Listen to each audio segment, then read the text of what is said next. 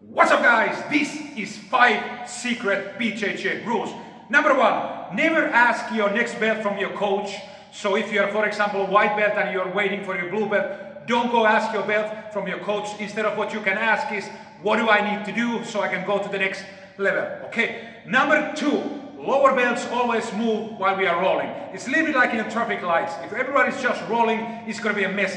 So lower belts are always moving. Number three, don't sit out rounds. So if you are tired, if you are lazy, whatever it is, don't sit out rounds. It's really important that we also learn how to fight while we are extremely tired. So don't sit out rounds. Number four, don't celebrate if you can make somebody tap. Everybody is tapping sometimes, so it doesn't matter. Don't celebrate your taps. And number five, be respectful and always when you come and leave, bow to the tatami. Go train, keep smiling and remember, jiu-jitsu never dies, baby. Boom.